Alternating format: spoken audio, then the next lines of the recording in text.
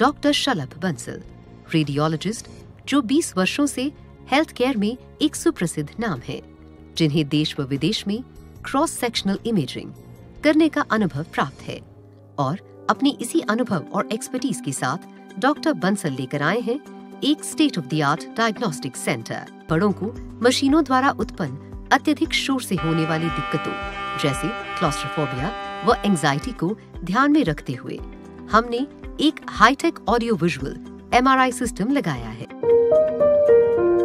Tesla imaging and diagnostic centre अभी तक हिंदू संगठन ही विरोध करते नज़र आते थे, लेकिन मेरठ के भगत सिंह मार्केट में संभवतः पहली बार ऐसा हुआ जब मुस्लिम युवकों ने अपने ही संप्रदाय की युवतियों का यह कहते हुए हिजाब खींच लिया कि क्या अपने लोग मर गए हैं जो हिंदू लड़कों से दोस्ती करोगी।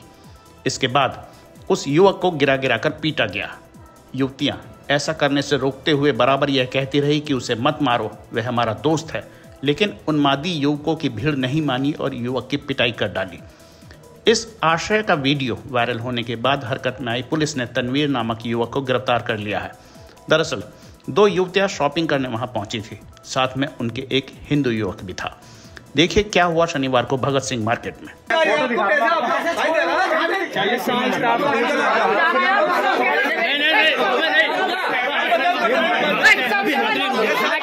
अबे नहीं पहले।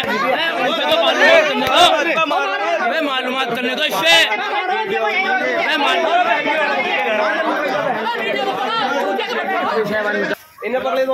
जाओ यहाँ से अलग जाओ। अरे कैसे दोस्त है, ये तो बताओ, हिंदुओं को दोस्त बनाओगे तुम? ये बताओ तुम।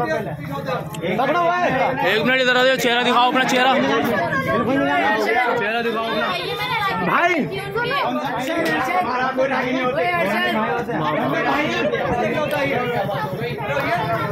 क्या नाम है भैया तुम्हारा? क्या नाम है? भैया सिर में चोट लगी क्या नाम है तुम्हारा? क्या नाम है? बात करो बात तो सुन लो। अबे नाम तो बताओ कैसे दोस्त हो तुम इसके? छुट्टिया है छुट्टिया। अरे नाम बताइए। एक घंटा हो लड़की का फ़ोटो लिए भैया। भैया मेरी बात तो सुन लोगे ना? क्या लो भाई लड़की का नाम बताइए इसका बताइए पहले। चोट लग रही है। फ़ोटो लीजिए। क्या फिर आदर था तुम? ये भैया स्टाफ है क्या स्टाफ है यू? इन्हें भेज दो इनका पूरा एड्रेस इनके नाम लो। इनके नंबर लो इसके पापा का नहीं हमें कहीं नहीं जाना। नंबर ले इसके पापा का नंबर लो दोनों के पापा का नंबर वीडियो बनाओ मैं आपको फ़ोटो दिखा रहा बताओ अपना सही अरे तो आप वीडियो बनाइए उसकी। बनाइए नाच बनाइए। गुलजार इब्राहिम इसकी लड़की साथ चल रही है सामान ले रही है। वो लड़का पीछे भी नहीं चल रहा है। नहीं पापा। भैया सामान इसका है भी नहीं। क्या कसम खा लो। अंकल जी अबे मुझे कुछ कह ही तू तू तू तू चले जा बात कर तू तू हम दूसरे कह रहे तू चले जा यहाँ से तू चले जा ये अपना आप जाना ये अपना आप जाने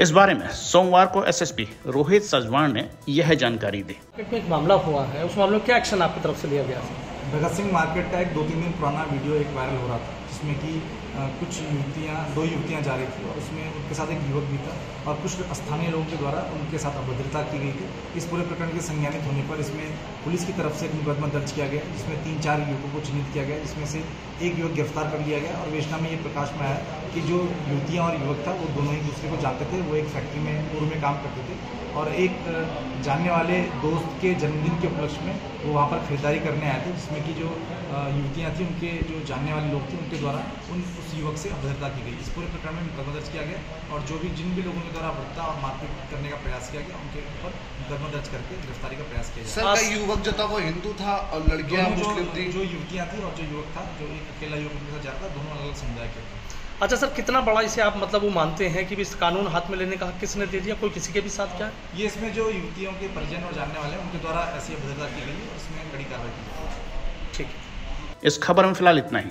आप देखते रहिए फ़र्स्ट बाइट डॉट टीवी नमस्कार।